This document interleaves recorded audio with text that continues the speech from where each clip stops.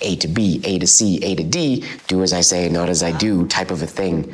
Hello, my name is Michael Ward. Uh, I'm getting interviewed today, and it's gonna be fun.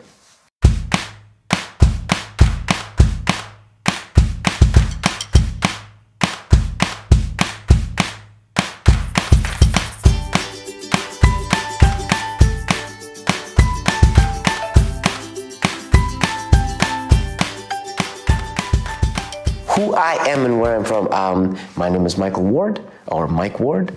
I'm originally from a farm town uh, in central Alberta, Canada, and that is me.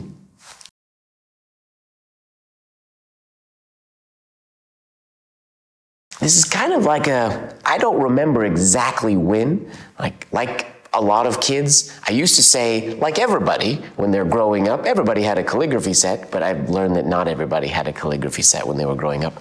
I used to do like really casual, like Old English and, and Gothic lettering and whatnot when I was quite young, just like in junior high school or grade seven, things like that.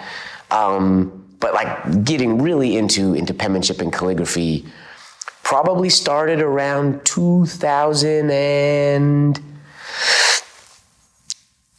12, I would say it's, I don't have a specific date because I, I, got into calligraphy through my obsession with fountain pens. Um, I like contraptions and I was collecting and restoring fountain pens.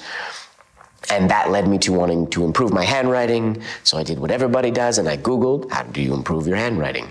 And I stumbled across uh, the IAMPETH website. I didn't read that it was an association that you could join or anything. I just found the book section and I found the Palmer Method book.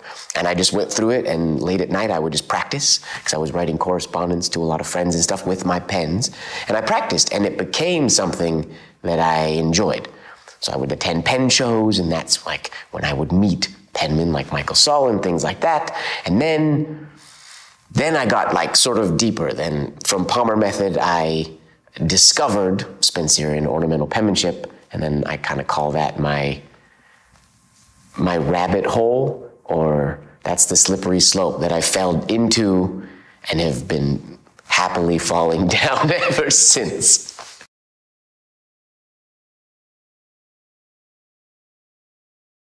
Calligraphy to me, I mean, by definition, uh, in, in my brain anyways, and calligraphy is beautiful writing. So, yeah, that's just what any writing that is beautiful, and beautiful means different things to different people, but beautiful writing is calligraphy. So, like, people always ask, uh, like, is penmanship calligraphy, or are you a calligrapher, or are you a penman? I am both. Sometimes, when I'm just doing simple writing, to me, it's I wouldn't really consider it beautiful. It's just, I mean, maybe it's beautiful to me, but if somebody else were to look at it, I mean, it's it's writing. So, like, not all penmanship is calligraphy, but obviously, to me, a lot of it is. Like when I'm doing ornamental penmanship, that's designed to be beautiful. So that, by definition, is calligraphy. Um, calligraphy because writing doesn't have to be done smooth and quick. Like there's calligraphic styles that are slow. So calligraphy, some is penmanship, but some is not penmanship. So some penmanship is calligraphy, some is not. Some calligraphy is penmanship, and some is not. It's not like black or white, really.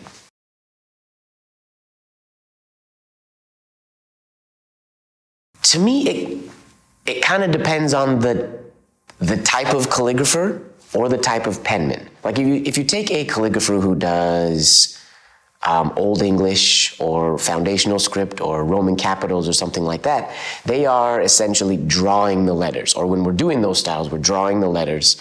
So to me, that is calligraphy because they're creating beautiful writing. But penmanship is it's it's writing, but it it it is more so movement and tough to get into those definitions because I don't like things to be like black or white. I don't like when things are like, this is this. Um, but personally, I wouldn't consider, or I don't consider like drawn or, or not even slow, but like drawn and fixed and touched up letters, to me, that's not handwriting. Handwriting is like you're writing a letter to somebody and you write.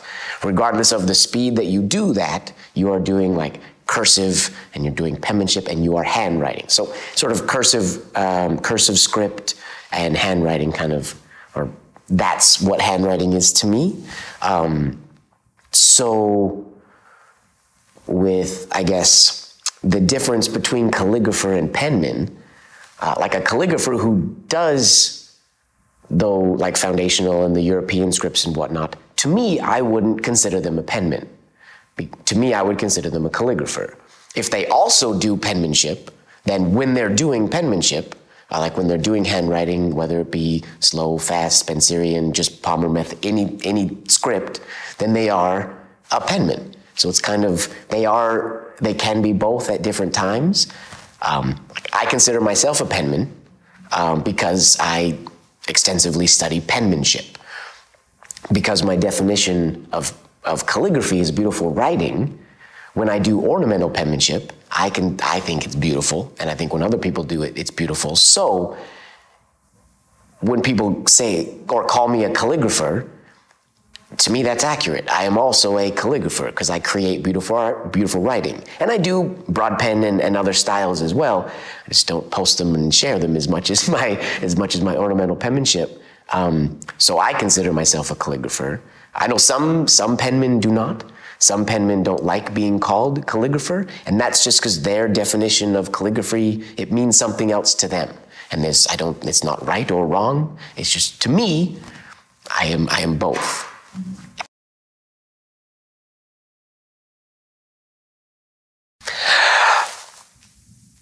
I have, this is where, as a teacher, do as I say, not as I do type of a thing.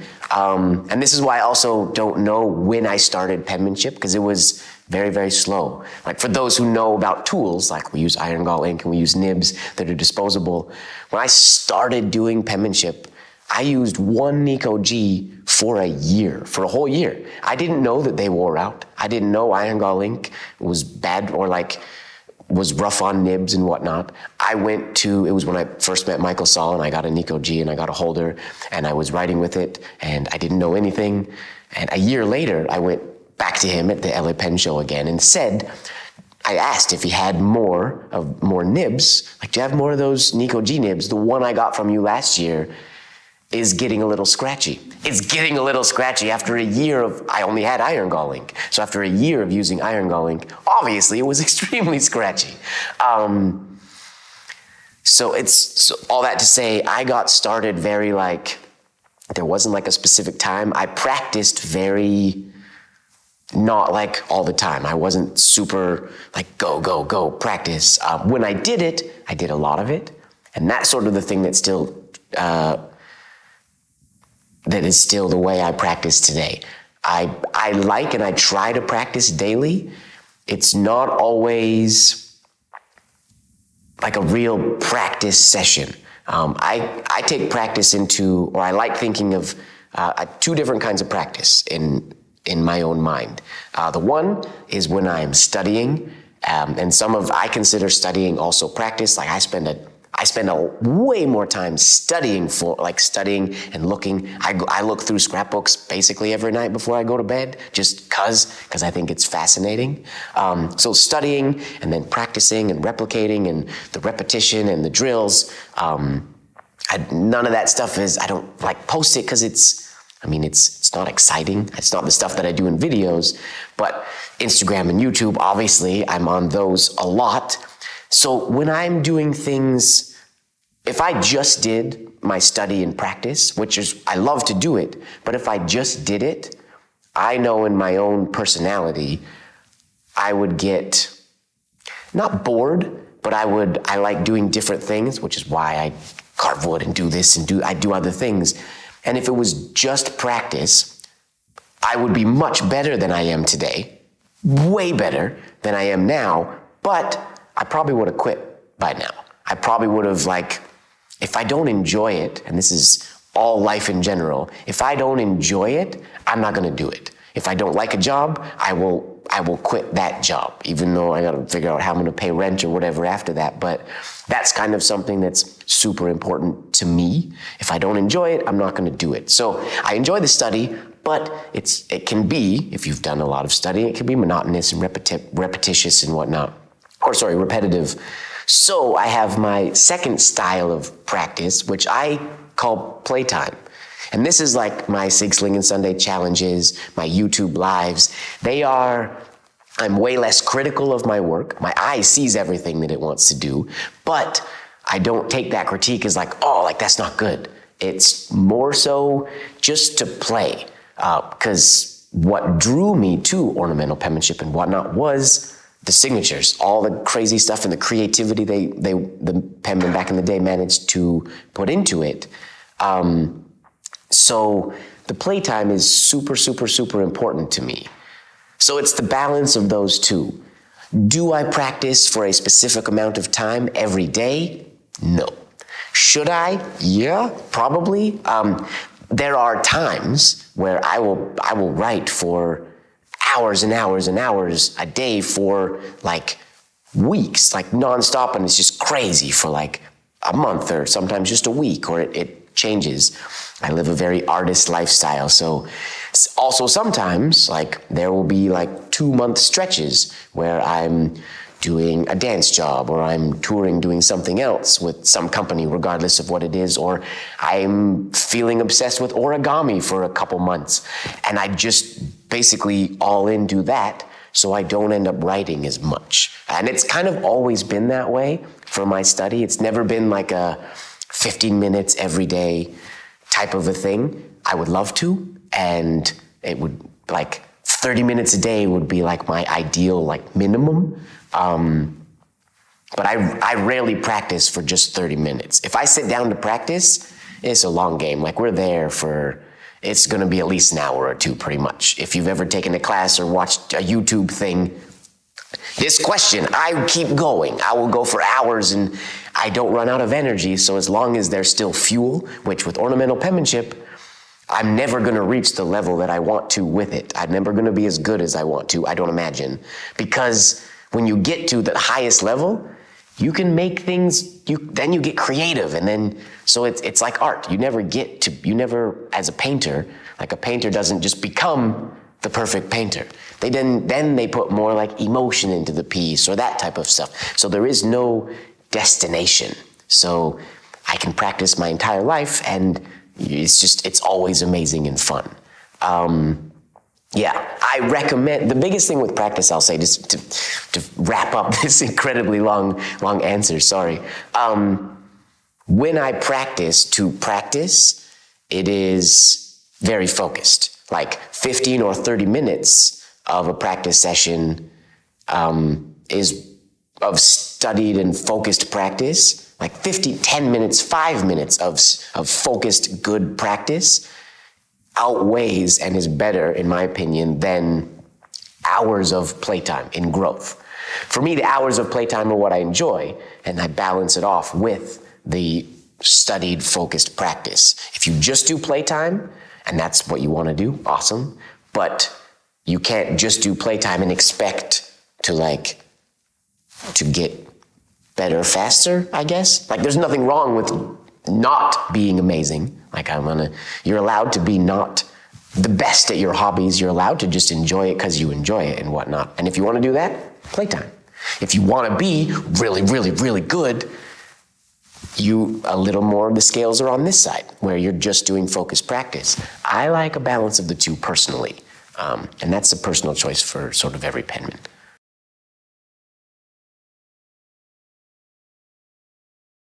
I mean, yeah, there's always challenges. Ornamental penmanship is, I mean, it's the hardest thing in the like, in my opinion, in the like the calligraphic penmanship world.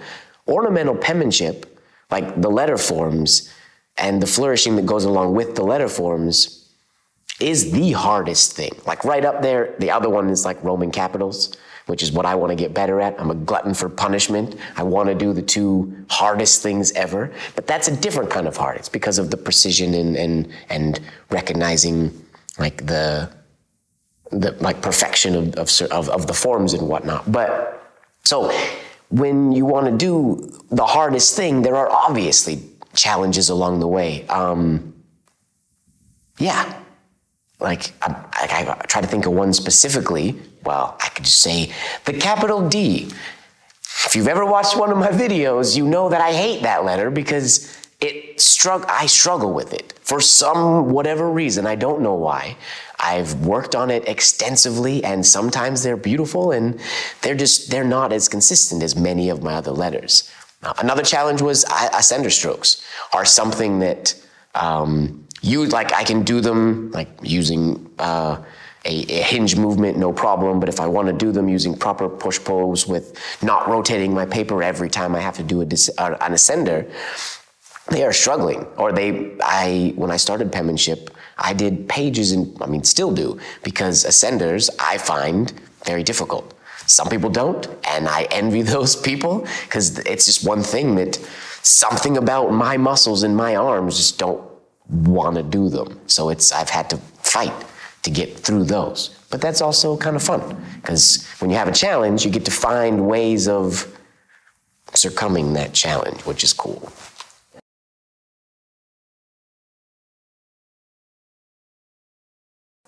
It is hard, but the cool thing about ornamental penmanship um, to me, or not the cool thing, one of the cool things, um, when you start ornamental penmanship, the learning curve is very high. But in a very, sh- like, you, it's, it's tough and you start it and you're like, this is impossible. But relatively quickly, you get to a point where it's not where you want to be and it's not perfect. I mean, none of us are perfect. Nobody on the planet is, is perfect, which is awesome.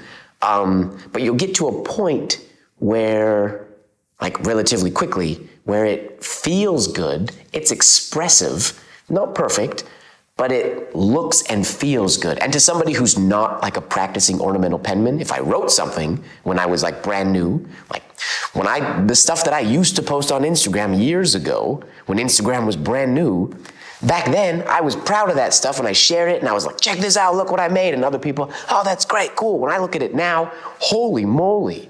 So it's like, but I didn't have the eye that I have now. And that's the cool thing. Like what I do tomorrow is different than what I do today. If I'm proud of what I do today, I'm not not proud of what I did back then because that was my journey. In the very beginning, it's hard, but when you're just diving into it, relatively quickly once you understand the fundamentals because everything breaks down into the ovals the undercurves the overcurves once you understand those whether you're doing it rapidly with movement or slowly whether you're just drawing the forms that's also i did slow calligraphy for years and still do for i don't only do rapid ornamental penmanship. Um, i did slow uh, slow ornamental penmanship for years before i decided to go fast or decided to dive into movement writing. So, um, all that to kind of say, like, there are things a beginner can do. And then as they do those things really quickly, they will get to a point that they can be proud of their work. And then that work can keep growing. So it's easy to get decent, but it's really, really hard to get perfect. And that's what I like. It's like throwing a frisbee. Like, it, you have to be really good to do like the frisbee sports and get like super accuracy, but anybody can go to the beach and have fun throwing a frisbee. It's not hard to throw a frisbee. Ornamental penmanship is that. It's not, once you get, it's, it's a little hard, it's like hard in the beginning, but relatively quickly you get used to it and then you can just do it.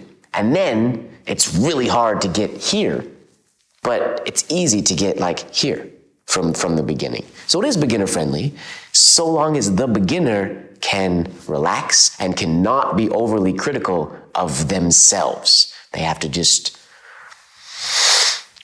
enjoy it as they're going and understand that they've only been doing this for a short amount of time. And if they don't put the pressure on themselves, then yeah, it's 100% beginner friendly. If you put pressure on yourself, then you're going to want to quit the day you start because it's, it's a challenge the day you start. But yeah, I would say yes, beginner friendly. Longest answers ever, sorry.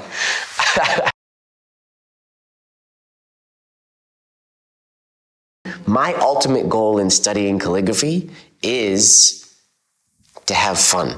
I, I enjoy it, regardless of whether I hit or miss forms and designs and stuff. Um, it's fun. I do it because I absolutely love doing it. Uh, when it comes to like, where's my destination? My ultimate goal. So when I got into ornamental penmanship, doing it slow and designing, I like designing signatures and whatnot. I like designing, like the things I do on leather blotters and stuff like that. I can't do those things with movement and with proper ornamental penmanship. I can't write the things that I design. So I design them super slow and I perfect them and whatnot because that's the, my signatures look like my work. That's my own style, I would say. It's unique to me when you see one of my pieces people, most people, if they know my work, they can recognize it as, oh, Mike designed that. Then the other side of things, I also want to be able to achieve the quality that the old masters had and what we have in the scrapbooks and whatnot. I want to be able to do that quality of work.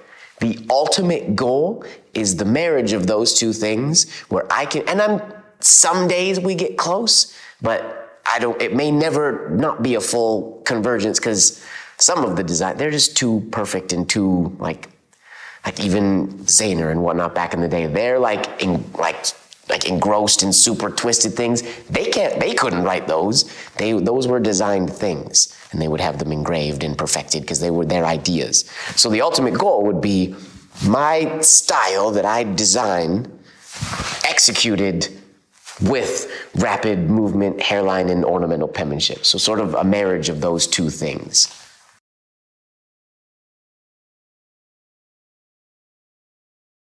How do they find me? Uh, YouTube.com slash MRMG Ward. That's my YouTube channel. Um, every Tuesday night at 9 p.m. Pacific time, I go live. Um, and sometimes I'm live for two hours. Sometimes I'm live for, I think the longest has been six and something, six and some change, uh, depending on what I'm doing. Uh, I've, what have we done now? We've done 87 weeks of, of late night lives.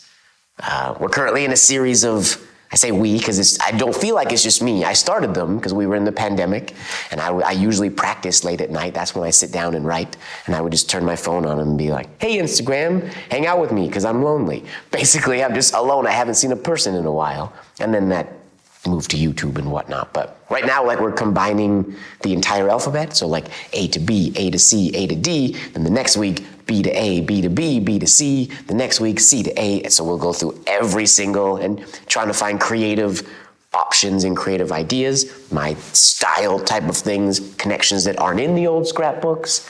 Um, but yeah, sorry, that youtube.com slash mrmgward. That's how you find me. Instagram is at mrmgward. Everything is mrmgward. It's always, it, everything is the same thing. So my favorite, because like I said, I do all of this because it's fun and I love Totoro.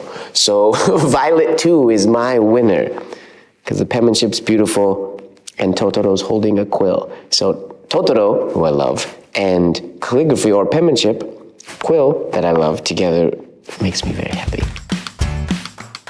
CPG, CB guy.